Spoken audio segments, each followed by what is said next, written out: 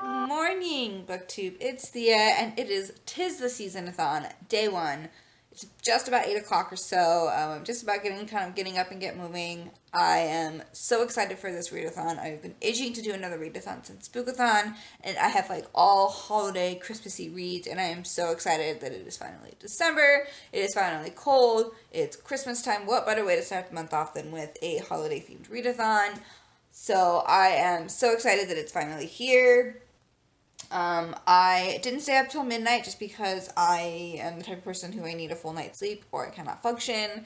And I'm in training at a new job, and it just it's not something that I can justify going in like exhausted. So I did go to sleep. I'm up. I'm pumped. I'm ready for the readathon. Um, I'm gonna go ahead and start with "Kiss Me in New York" by Catherine Rider. This is the shortest book on my TBR. It's like 185 pages or so, so it's definitely something that won't take very long to get through because it is so short. And I do have this as an audiobook as well, so I can kind of switch back and forth between the two. Um, if you don't know, if you haven't seen my TBR, basically this follows two people who get stuck in JFK on Christmas Eve. One is flying home to England after a breakup, and our other character is in JFK. He was there to surprise his girlfriend when she dumped him. So it's about them getting over their exes and being stuck in the airport on New, on Christmas Eve in New York City. So um, this just kind of sounded like the perfect kind of way to start off December, and because um, now it's starting to get cold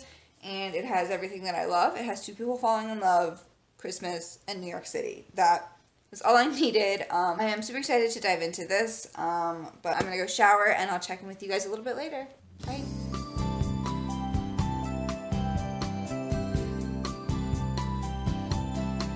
And so it's Christmas. Hear the festive music in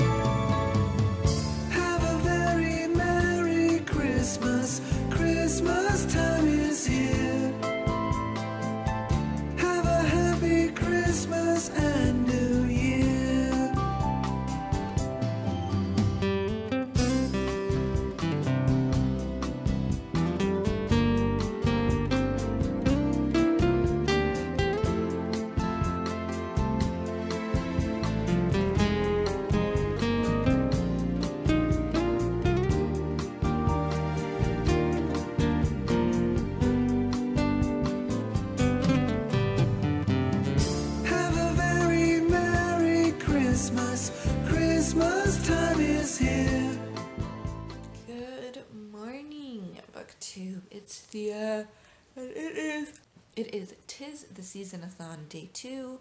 Um, I'm a terrible vlogger, and I did not really pop in with like how day one's reading went.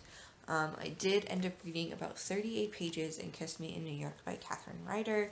That's all of my reading. It was not a very productive Monday, um, but I have no one to blame but myself because I got home and watched two episodes of Outlander instead of reading.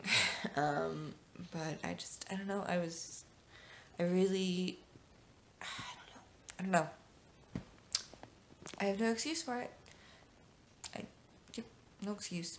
Um, it's about 7 o'clock or so, and I don't have to really get ready for work for another half hour or so. So I figured I was going to buckle down and I'm going to try to read at least another couple chapters um, to at least try to get a book read today. Um, I don't know what my plan is to for when I'm done with Kiss Me New York. I think I might hop into. I'm not sure what I'm gonna read after that, and I don't really know.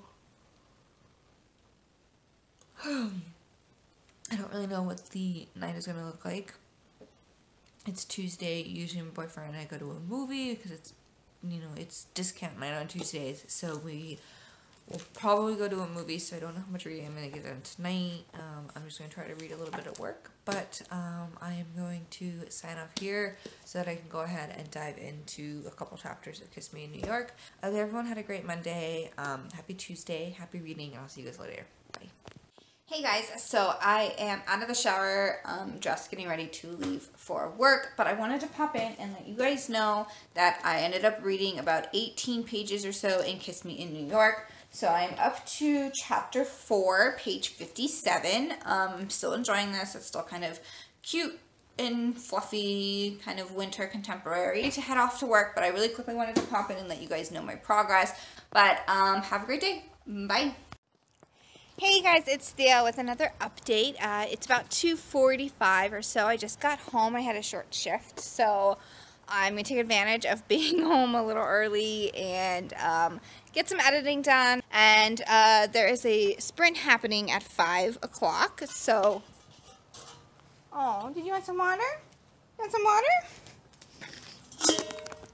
Hold on. So, um, there is a sprint happening about 5 o'clock or so my time, and I'm going to try to go ahead and participate for a little bit since I will have be, since I will be home, um, and I can hopefully, I'm going to try really, really hard to get uh, Kiss Me in New York done before my movie tonight. I definitely think I can do it on my breaks today and kind of when we weren't in my downtime. I think I read like 20 pages or so, so I'm almost at 100 pages. Um, so I've got like 80 pages left that I think I can get done today and tonight. Like, I think I can get done tonight. Um, but, what are you doing? What are you doing? And so I just wanted to pop in and give you guys an update. But I hope everyone is having a great Tuesday. Happy reading, and I'll see you guys later tonight. Bye.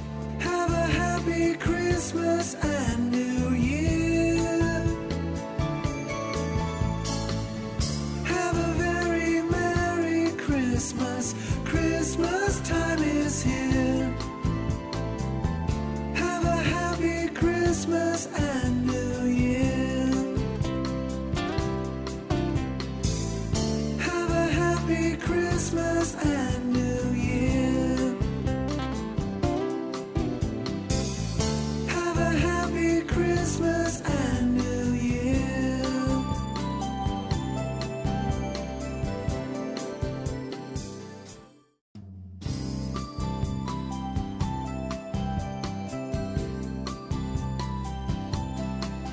So it's Christmas. Hear the festive music in the air. See the smiling faces everywhere. They stop and stare.